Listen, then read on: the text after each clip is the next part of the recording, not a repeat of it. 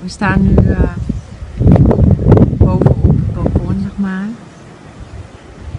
En je ziet al dat de zee uh, heel ruig aan het worden is.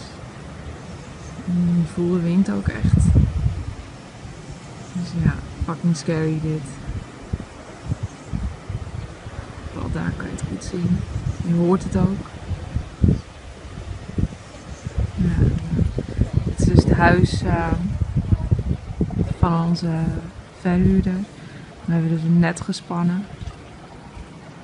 Ja, en alles gaat natuurlijk dicht. Waarschijnlijk verblijven we hier. Dat zijn, daar zie je, dus een hurricane shutter.